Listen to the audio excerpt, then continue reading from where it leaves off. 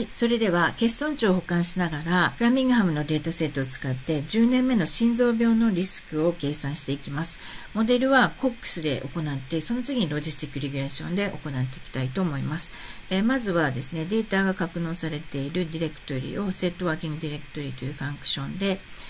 はい、指定をします。で次に RMS インストールしてない方はインストールを行って、えー、次ライブラリーで設定してください。でも私インストールしてますので、ライブラリのところだけ走らせていきます。で、次ですね、今回サポートではなくて、フラミングハムのデータセットを使っていきますので、えー、ここですね、欠損値を保管しながら予測確率を計算するところまで飛んでいただいて、フラミングハム .csv というのを読み込んでですね、でここで男性のデータだけ抜き出しますので、えー、サブセットをします。はい。で、えー、フラムドットメンと名前を付けて、この男性だけのデータセットを保存していきました。で、男性だけの中でですね、えリスク計算を行っていきます。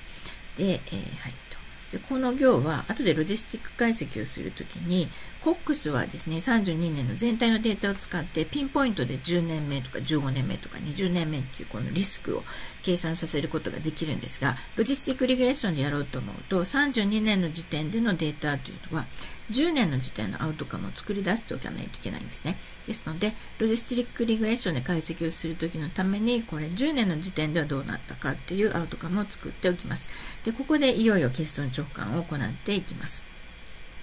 で、この AREG インピュートっていうファンクションを使ってですね、5回、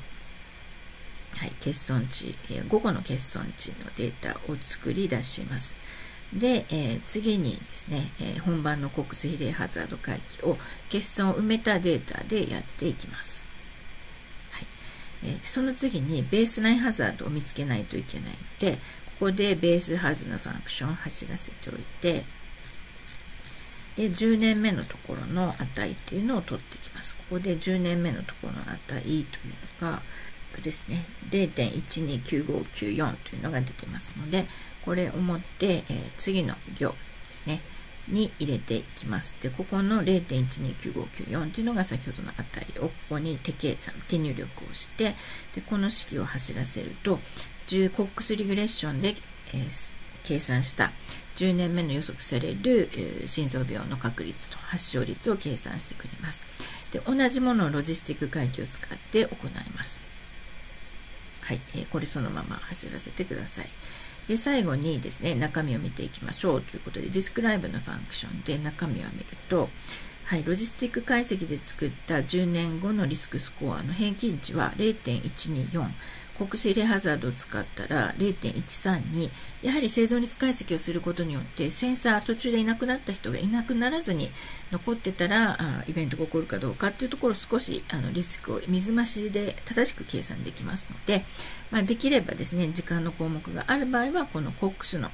えー、リグレッション、国水レハザードを使って、えー、予測スコアを開発していただければと思います。以上です。